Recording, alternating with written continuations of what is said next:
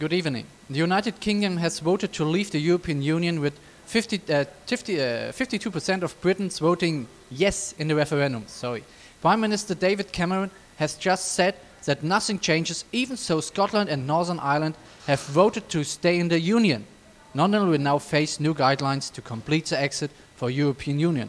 Also, we will continue to monitor developments live from the British capital. Good evening, ladies and gentlemen.